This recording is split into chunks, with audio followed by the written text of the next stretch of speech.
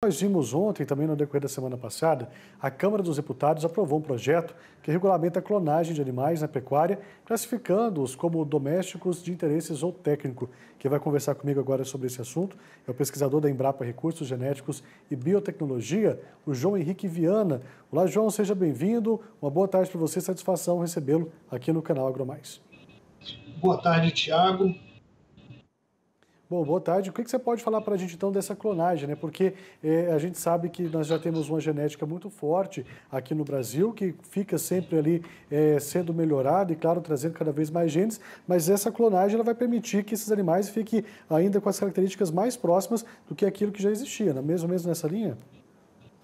Bom, Tiago, uma coisa importante da gente ressaltar é que esse projeto de lei, o projeto de lei 5010, ele não trata apenas da clonagem. Na verdade, ele atualiza todo o marco regulatório relacionado a, ao controle e fiscalização de produção é, de material genético. Né? Então, ele abarca também a clonagem, mas é, talvez o principal efeito dele seja sobre todo esse conjunto de tecnologias que vêm sendo adotadas pelo setor produtivo relacionadas à produção de embriões em laboratório, que inclui a fertilização in vitro, né, que é utilizada hoje em larga escala no Brasil. Né? Então, ele é importante sim para clonagem, mas na verdade ele atualiza é, todo o marco regulatório. Só para dar uma ideia, a lei vigente até então era de 1977. Né? Então, é, todos esses avanços que aconteceram uh, em relação à, à, produção e comercialização de material genético não estavam devidamente contemplados pela legislação. Tá certo. Agora, quando a gente fala sobre essas outras questões aí voltadas, né, é claro que além da, da, legislação que fica sendo atualizada, nós temos também aí a questão de implicações éticas de clonagem de animais classificados, então, é, nesse termo domésticos e de interesse zootécnico, para o bem-estar animal e também para a biodiversidade. Como fica essa questão ética, então, dentro desses dois quesitos, hein? Então, é, quando a gente fala de clonagem, duas coisas são importantes ressaltar. É, muito da percepção da sociedade foi condicionada pela clonagem quando ela surgiu, quando ela começou a ser noticiada, particularmente uh, a partir da produção da Dolly em 97, né? É, e a gente às vezes esquece que a tecnologia ela vem evoluindo desde então. Então, boa parte dos problemas que foram relatados na época relacionados aos clones, é, eles foram mitigados ou foram minimizados com o desenvolvimento da tecnologia. Quer dizer, tecnologia é uma, é uma tecnologia em desenvolvimento, mas ela já melhorou muito em relação ao que era há mais de 20 anos atrás, quando ela surgiu.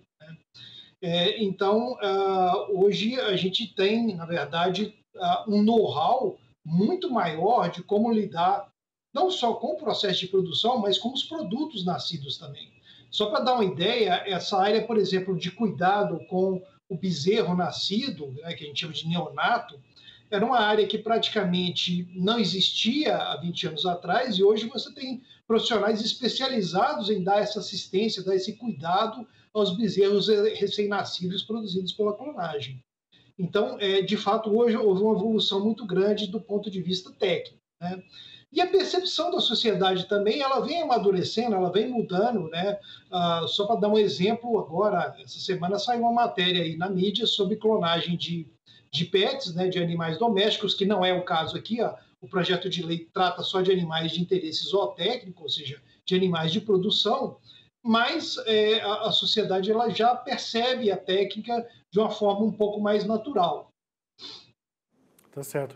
E agora, como essa regulamentação eh, da clonagem pode impactar a sustentabilidade da pecuária aqui no Brasil, especialmente em relação às questões ambientais e de saúde pública? Tem algum tipo de impacto ou não? Tem sim, claro. É, é importante lembrar que quando a gente fala de impacto da pecuária, é, a, talvez a forma, a, maior, a forma mais importante da gente mitigar a, o impacto da pecuária no meio ambiente é exatamente a gente aumentar a eficiência da pecuária.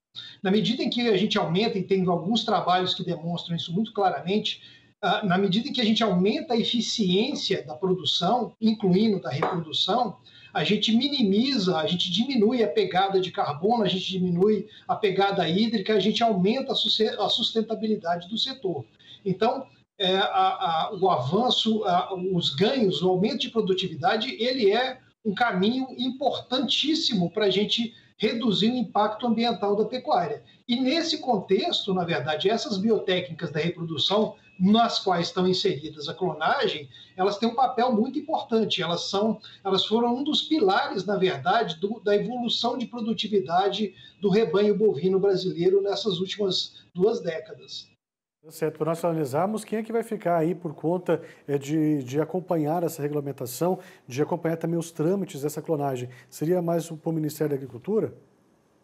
Isso, a, a, o PL 5010 ele define, na verdade, as responsabilidades em relação à produção, comércio, enfim, uso de material genético, e a entidade que uh, vai fiscalizar isso é o MAP, é o Ministério da Agricultura.